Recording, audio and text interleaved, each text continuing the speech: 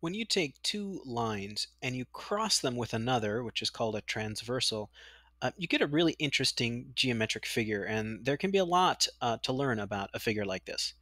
One of the things that happens is you get four angles at uh, these two intersections of the transversal with the other two lines. And there are specific names for uh, the types of angles you get in a figure like this. Today, we want to learn about what corresponding angles are, what alternate interior angles are, and what alternate exterior angles are. So let's take this uh, a piece at a time. Corresponding angles.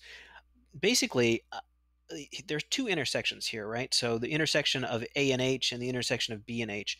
Um, angles correspond if they're in different intersections, but in the same location in each intersection. So 5, for example, is in the upper left, so is 7. So 5 and 7 would be corresponding angles. So would 2 and 4, so would 1 and 3, so would 6 and 8. So in the same location in the intersection. So a pair of corresponding angles would be angle 5 and angle 7. Okay, let's talk about alternate interior angles. So this figure, the angles can be divided up into inside and outside. Inside would be 6, 2, and 3, and 7. All these angles on the inside of the figure uh, enclosed by lines A and B. The uh, exterior angles would be the other ones, 5 and 1 and 8 and 4.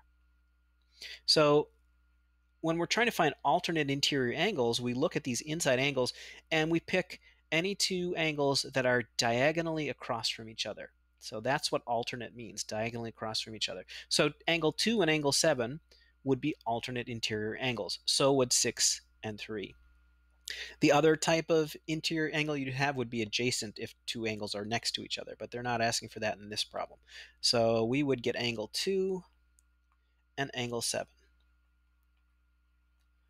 All right, and the last thing we want to find is alternate exterior angles. So here we're looking at the angles on the outside of the figure, so 8 and 4 and 5 and 1, and again, alternate means diagonally across from each other. So if I had 5 here, then 4 would be an alternate exterior angle. They're both on the outside and they're diagonally across from each other. So angle 4 and angle 5.